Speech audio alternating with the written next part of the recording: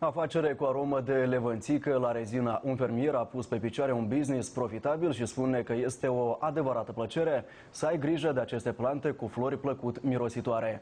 Mai ales că îi aduce și un profit frumos. O tonă de ulei de lavandă ajunge să coste peste hotare până la 95.000 de euro.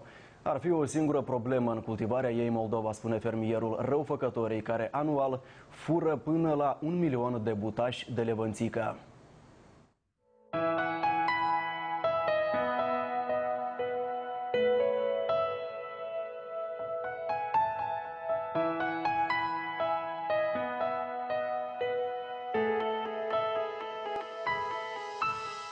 Un câmp din apropierea satului Țareu Carezina a prins nuanțe de movă. Pe 123 de hectare se întinde un câmp plantat cu levănțică. Cel care a investit într-o afacere frumos mirositoare este Andrei Gârlea. De șapte ani crește lavandă. Din ea face ulei, iar apoi îl exportă peste hotarele țării, acolo unde o tonă de astfel de produs ajunge să coste între 50 și 95 de mii de euro. Lavanda nu este o plantă pretențioasă, spune fermierul, doar că preferă arșița. Este greu să crești o astfel de, de plantație? Nu este greu.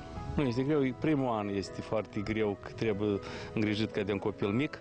Mai pe urmă nu este greu. Dar cultura asta e specifică și ea este necesară pentru a diversifica culturile în agricultură deoarece este foarte rezistentă la sește. Și anul trecut, când a fost sește, a dat un rezultat foarte bun această cultură. Și invers, anul ăsta, când sunt atâtea ploi, o parte din, din ea a pierit. Ea nu iubește mult umiditate.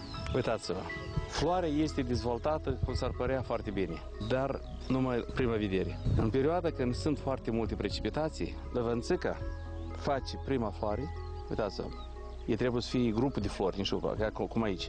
Și trebuie să aibă 10-12 grupuri de flori.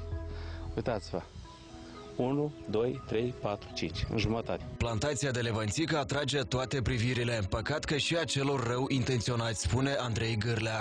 La noi cea mai mare problemă, am spus-o și ministrului, proprietatea privată este declarată, dar nu și stimată de către popor și instituțiile statului.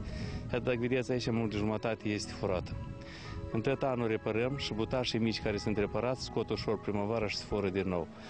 Asta milioane, un milion de puieți pe an. Vă închipuiți că asta e o pierdere colosală. Noi am încercat să punem și ștablițe aici, am încercat să îngrădim. Ne-au luat și gardul și ștablițele. Pe viitor, Andrei Gârlea speră să-și mărească plantația de levănțică și să găsească o metodă eficientă de a lupta cu hoții.